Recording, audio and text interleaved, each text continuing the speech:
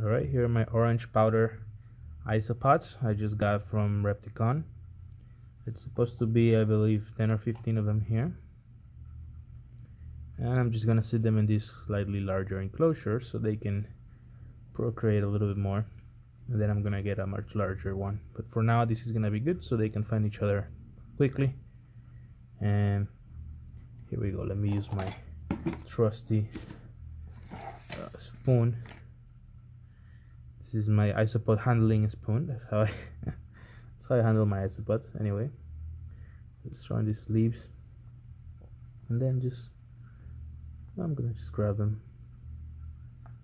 Oh okay big piece of sphagnum moss. Just trying to be gentle. Maybe it's not going out so well but it's much better for me than to just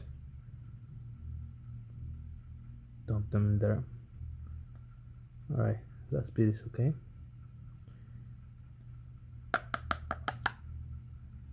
There's nothing left here but soil.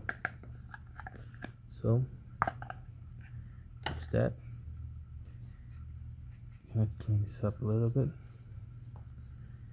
There's a piece of uh, cork bark in here that I put for them. As you can see, they're already climbing all around. Oh, there you go, there's one trying to clean this a little more. Okay everything is already um, uh, humid wet and there's a lot of sphagnum moss soil and other uh, bark little pieces of uh, forest bark what's it called?